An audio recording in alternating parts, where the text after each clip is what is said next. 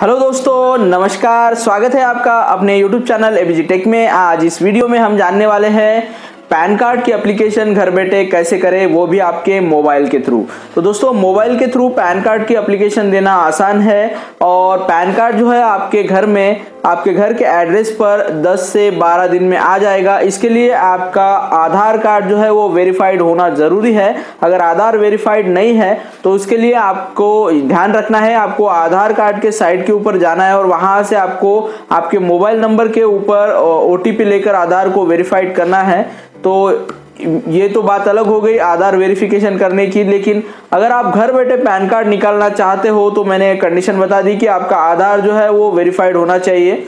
तो pan card का application आप अपने मोबाइल से किस तरह से दे सकते हो, इसके बारे में इस वीडियो में मैं आपको डिटेल में बताने वाला हूँ। लेकिन इससे पहले एक रिक्वेस्ट है, अगर आप हमारे चैनल पर फ़र्स्ट टाइम आए हैं तो हमारे चैनल को सब्सक्राइब करना मत भूलिए, और अगर ये वीडियो आपको बहुत अच्छा लगे तो वीडियो को ज़रूर लाइक कीजिए और अपने दोस्तों के साथ शेयर कीजिए। तो चलिए देखते हैं कि मोबाइल से पैन कार्ड की एप्लीकेशन किस तरह से फिल करना है। ये जो एप्लीकेशन है, इसमें आपको कोई भी फ़िज़िकल डॉक्यूमेंट भेजने की ज़रूरत नहीं है।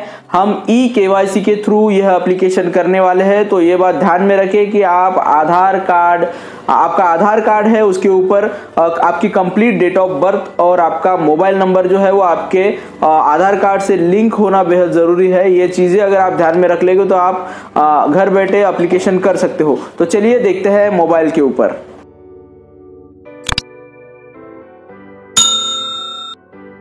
तो दोस्तों, यहाँ पर आपको ब्राउज़र में आना है आपके मोबाइल के। तो मैं यहाँ पर ब्राउज़र ओपन कर लेता हूँ।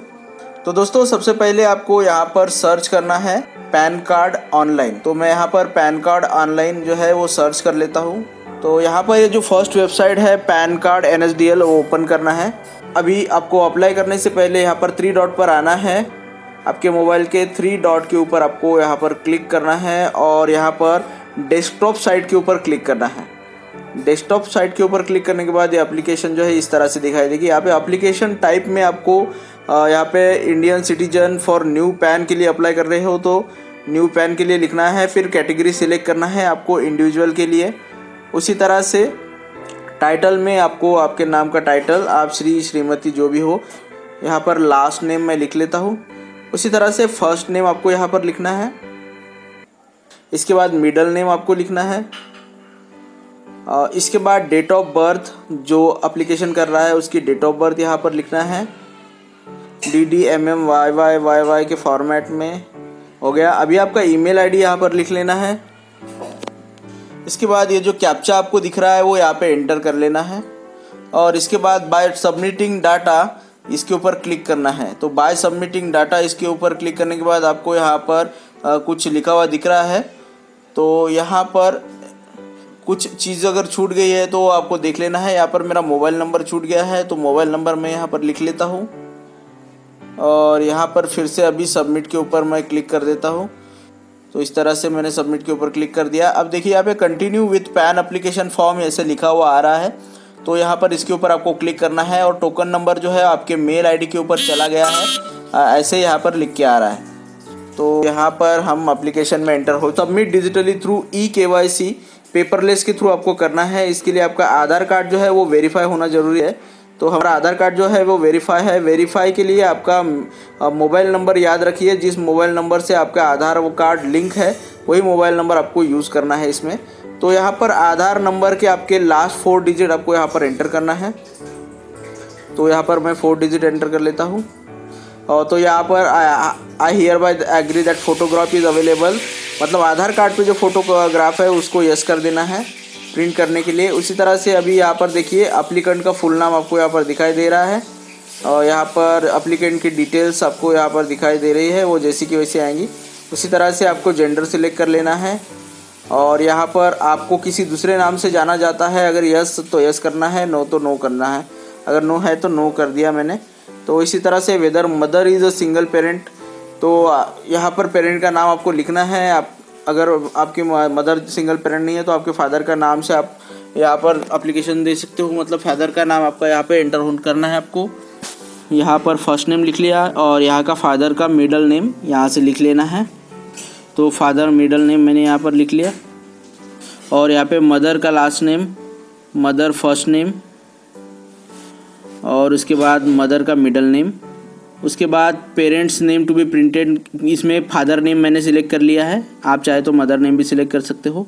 तो इसके बाद आपको नेक्स्ट के ऊपर क्लिक करना है। तो यहाँ पर नेक्स्ट के ऊपर क्लिक करने के बाद और एक फॉर्म ओपन हो गया। यहाँ पे पर्सनल डिटेल्स एंटर करना है। आपके सोर्स ऑफ़ इनकम में मेरी सोर्स ऑफ़ इनकम सैलरी है। उसके बाद एड्रेस में आपका रेसिडेंस एड्रेस जो है वो आधार कार्ड से आएगा। ऑफ़िस एड्रेस भी यहाँ पर सेम आपका जो एड्रेस है, आधार कार्ड पे वही सेम एंटर कर लेना है। तो यहाँ पर मैं लिख लेता हूँ नेम ऑफ़ द ऑफ़िस में ही अपने घर का पता ही लिखना है ऑफ़िस नेम ऑफ़ ऑफ़िस में भी। तो सेम एड्रेस में यहाँ पर एंटर कर ले रहा हूँ। और यहाँ पे आपकी लोकेलिटी या फिर सब एरिया लिख लेना है आपको, सब जो भी आपका तहसील हो वो लिख लेना है। उसके बाद आपका सिटी सिटी का नेम यहाँ पर लिख लेना है आपको। उसके बाद स्टेट सिलेक्ट करना है। इससे पहले आपको कंट्री सिलेक्ट कर लेना है, बाद में आप स्टेट सिलेक्ट करेंगे, पहले कंट्री नेम लिख लेना है यहाँ पर। और यहाँ पर कुछ अगर एड्रेस में चीज़ें छूट गई है तो वो भर लेना है आपको प्रॉपरली तो यहाँ पर मोबाइल में व्यू थोड़ा छोटा दिखाई देता है। इसको कम ज़्यादा करके देख सकते हो आप। यहाँ पर कंट्री सिलेक्ट कर लेता हूँ मैं पहले। इसके बाद स्टेट सिलेक्ट करना है। उसके बाद आपको पिन कोड एंटर करना है, आपके एरिया का पिन कोड उसके बाद आपको कंट्री कोड सिलेक्ट करना है यहाँ पे। इंडिया का कंट्री कोड 91 है। मैं जैसे इंडिया लिखता हूँ, यहाँ पे 91 दिखा देता है। उसी तरह से आपका एसटीडी नंबर अगर आपके पास एसटीडी नंबर है तो एसटीडी नंबर आप लिख सकते हो। और यहाँ पे आपका मोबाइल नंबर तो है ही ऑलरेडी और यहाँ पर मेल आईडी डिफ़ॉल्ट में आ गया। और फिर अगर आप रिप्रेजेंटेटिव एस सी अपॉइंट करना चाहते हो तो आपको यस करना है, मुझे नहीं करना है, इसलिए मैं नो कर देता हूँ। तो यहाँ पर अभी आपको नेक्स्ट कर देना है। पहले आप चेक कर ले एक बार कि आपने डिटेल जो है वो प्रॉपरली भरी है या नहीं। तभी नेक्स्ट के ऊपर जाए। तो डिटेल हमने भर ली है प्रॉपरली तो यहाँ से हम नेक्स्ट के ऊपर चले जाते हैं। अब ये देखिए, यहाँ पर आपको एरिया कोड एओ कोड वगैरह डालना है। तो यहाँ पर आपको हेल्प में दिया गया है कि एरिया कोड एओ कोड किस तरह से सिलेक्ट करना है। तो यहाँ पर पहले आपको स्टेट सिलेक्ट कर लेना है आपका। और सबसे पहले हमने इंडिया रीजन के ऊपर करके यहाँ पर अभी स्टेट सिलेक्ट करने के बाद आपको यहाँ पर आपका एरिया सिलेक्ट करना है। किस लोकेशन के लिए आप अपना पैन कार्ड मंगा रहे हो, आपके सिटी का नाम। तो यहाँ पर मैं नागपुर के लिए। तो जो ईपीएफ e का जो जो पैन कार्ड का जो ऑफ़िस है सब डिविजनल ऑफ़िस वो नागपुर के रेंज में आता है। तो यहाँ पर नागपुर सिलेक्ट कर लिया मैंने। तो यहाँ से अभी एओ कोड चूज़ करने के लिए आपको आपके कंडीशन के हिसाब से देखना है। आपकी इनकम वगैरह जो भी है, आपका बिज़नेस है, क्या करते हो आप, उसके हिसाब से आप पैन कार्ड निकाल सकते हो। तो हम सर्वेंट है गवर्नमेंट सर्वेंट के हिसाब से स्टेट गवर्नमेंट के। तो यहाँ पर स्टेट गवर्नमेंट सर्वेंट के हिसाब से यहाँ पर मैं चूज़ कर लेता हूँ। मेरा एरिया कोड एओ कोड क्या आएगा वो। यहाँ पर टिक करना है आपको। और ये टिक होने के बाद आप देखेंगे कि ऊपर में ऑटोमेटिकली सारी चीज़ें आ गई है। आप देख सकते हो range code AO code AO number सारी चीज़ें आ गई है। तो अभी मैं यहाँ से नीचे आता हूँ और नेक्स्ट के ऊपर क्लिक कर लेता हूँ। उसके बाद आप यहाँ पर देख सकते हो document submitted as a proof यहाँ पे तीनों जगह पे आपका आधार आया है डेट ऑफ़ बर्थ के लिए एड्रेस के लिए और आइडेंटिटी के लिए। तीनों के लिए आधार कार्ड डिफ़ॉल्ट में सिलेक्ट हुआ है। क्या? क्योंकि आप ई साइन जो है वो आधार कार्ड के थ्रू करने जा रहे हो। तो इसके बाद आपको डिक्लेरेशन में आपका नाम यहाँ पर दिखेगा आपको। और उसी तरह से आप यहाँ पर देखेंगे ये सिलेक्ट के ऊपर आपको आना है और हिमसेल्फ हरसेल्फ के ऊपर क्लिक करना है, क्योंकि आप खुद से ही डिक्लेरेशन दे रहे हो। यहाँ पर आपका प्लेस का नाम लिखना है। मैं यहाँ पर प्लेस का नाम लिख लेता हूँ। उसी तरह से डेट जो है डिफ़ॉल्ट में आती हो, फिर बाद में यहाँ पर आने के बाद आपको यहाँ से सबमिट के ऊपर क्लिक करना है। तो पहले इंफॉर्मेशन चेक कर लेना है प्रॉपर फील है, हुई या नहीं। तो यहाँ पर मैं सबमिट के ऊपर क्लिक करने से पहले देख लेता हूँ। और आपको बीच बीच में सेव ड्राफ्ट इसके ऊपर भी क्लिक करते रहना है ताकि आपका डेटा जो है जितना भी फिल किया है आपने वो लॉस ना हो। तो इस तरह से हमारा सबमिट हो गया। अभी यहाँ पर आपको आ, कुछ डिटेल्स फिल करना है। तो यहाँ से आपको आपके आधार कार्ड के एट डिजिट जो है वो फिल करना है। फ़र्स्ट एट डिजिट मैं यहाँ पर लिख लेता हूँ फ़र्स्ट एट डिजिट आप ईआईडी e नंबर से भी जा सकते हो इसमें वेरिफिकेशन के लिए। अब मैं यहाँ पर फुल नेम दिखा लिखा हुआ है। ऑलरेडी हमारा फुल नेम यहाँ पर आपको लिखा हुआ दिख रहा है। यहाँ उसी तरह से हमारा पूरा नाम किस तरह से आएगा, उसी तरह से डेट ऑफ़ बर्थ क्या है, वो चार, सारी चीज़ें आपको यहाँ पर दिखाई दे रहे हैं। उसी तरह से जेंडर फिर रजिस्ट्रेशन नंबर है तो रजिस्ट्रेशन नंबर डालिए, नहीं तो कंपलसरी नहीं है। और इसी तरह से whether physically PAN card is required यहाँ पर देखिए यस करना है आपको। फ़िज़िकल पैन कार्ड के लिए। उस तरह से यहाँ पर फादर नेम और मदर नेम में आप देख सकते हो। उसी तरह से और नीचे आना है आपको, आपका जो फॉर्म आपने फिल किया था, वो किस तरह से फिल किया है आपको यहाँ पर दिखाई देगा। तो यहाँ पर सारी डिटेल जो है वो हमने फिल कर दी है और ई साइन ई के के लिए हम अप्लाई करने वाले हैं। तो यहाँ पर देख सकते हो आप, आपके जो भी प्रूफ ऑफ़ आइडेंटिटी और प्रूफ ऑफ़ एड्रेस आपको दिखाई दे रहा है प्रूफ ऑफ़ डेट पहले फॉर्म को अच्छी तरह से चेक कर ले और फिर बाद में प्रोसीड के ऊपर क्लिक करें। तो इस तरह से हम ऑनलाइन पेमेंट के लिए यहाँ पर आ चुके हैं। पहला ऑप्शन है डिमांड ड्राम सेकंड ऑप्शन है पेमेंट थ्रू पेटीएम और पेटीएम में और भी ऑप्शंस ऑटोमेटिकली आते हैं डेबिट कार्ड क्रेडिट कार्ड के। तो यहाँ पर हमें चार्जेस लग रहे हैं एक सौ छः रुपये करीब करीब और यहाँ पर देख सकते हो आप तो यहाँ से ऑनलाइन पेमेंट थ्रू पेटीएम के ऊपर क्लिक करने के बाद आपको नीचे आना है और यहाँ पर I agree to the terms of services इसके ऊपर क्लिक करके प्रोसीड टू पेमेंट इसके ऊपर आपको क्लिक करना है। तो यहाँ पर मैं प्रोसीड टू पेमेंट इसके ऊपर क्लिक कर लेता हूँ। यहाँ पर आपका ऑनलाइन पैन एप्लीकेशन यहाँ पर लिखा दे रहा, दिखाई दे रहा है।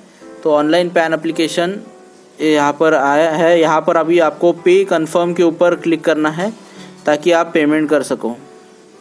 तो मैं यहाँ पर पे कंफर्म के ऊपर क्लिक कर लेता हूँ।